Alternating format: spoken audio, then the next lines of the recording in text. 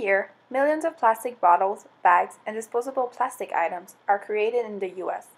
Although some of these items are being recycled or reused, the vast majority of them end up in the trash or on our shores, leading to what scientific community calls the Great Pacific Patch. According to the Algalita organization, the Great Pacific Garbage Patch was first discovered in 1997 by Charles Moore, the founder of the Algalita organization, and is located between the states of Hawaii and California in the North Pacific subtropical gyre. As stated by the National Geographic, a gyre is the result of the Earth's wind patterns and rotation of the planet, causing circular ocean currents. Debris from North America and Asia are transported by the circular ocean currents to the center of the gyres, where they are trapped in the calm and stable waters, resulting in the Great Pacific Patch.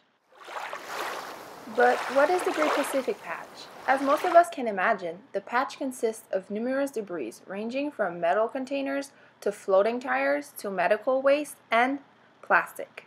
In the era of disposable materials, plastic is the leading type of debris found in the gyres, which reinforce the already alarming nature of the patch, since plastic is not biodegradable.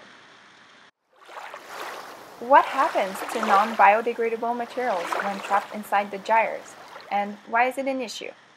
Plastic, for example, disintegrate into smaller pieces but do not disappear, which can affect the entire marine food chain.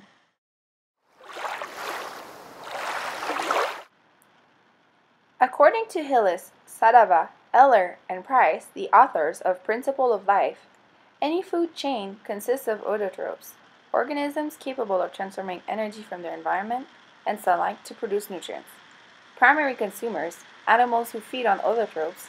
Secondary consumers, species who feed on primary consumers. Tertiary consumers, animals who feed on secondary consumers. Predators, species at the top of the food chain. And decomposers, species who feed on dead plants or animals. The lower in the chain changes are made, the more impact they will have on the entire web. Now, let's go back to the issue of plastic debris to understand how they are affecting the chain. According to the National Geographic, the tiny plastic pieces tend to block sunlight, form planktons and algae, the autotrophs, limiting the amount of nutrients they can produce from sunlight. Since the autotrophs are at the very bottom of the chain, their disappearance or limiting availabilities could influence the entire web. Primary consumers, such as turtles and fishes, would have to compete harder for resources, most likely leading to smaller populations of primary consumers, which would lead to smaller populations of secondary, tertiary consumers, predators, and decomposers, affecting every single level of the food web.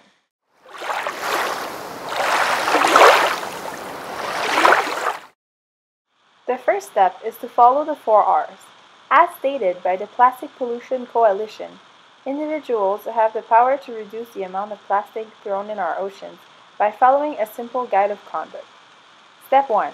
Refuse to use disposable plastics, such as plastic bags, utensils, plastic lids, straws, and bottles. Step 2. Reduce your use of plastic. Step 3. Reuse, which is in fact linked to step 2. For example, by buying a reusable plastic bottle, meaning it is made of a thick plastic intended for more than a single use, you will reduce your need for disposable plastic. And finally, step 4 recycle. Although recycling is a well known solution, some people seem to forget about the positive impact it could have on our planet if everybody took the time to dispose properly of their debris. Now, apply the 4 R's. Take the pledge at www.plasticpollutioncoalition.org slash action slash result to refuse in 2014. Now, if you find yourself asking, what more can I do? Another way to help stopping the degradation of the marine chain by plastic dumping is to support the Ocean Cleanup Project. Their mission is to prevent, intercept, and create efficient technologies to extract plastic debris, which would reduce the impact of plastic on the autotrophs. Their project is a registered nonprofit organization entirely funded by the public. Their webpage also includes a very interesting feature that lets you check the status of the, of the funding and the execution of each of the phases of the project directly on their donation page. So go ahead and donate on their main webpage at www.theoceancleanup.com slash donation. And remember, every single action makes a difference.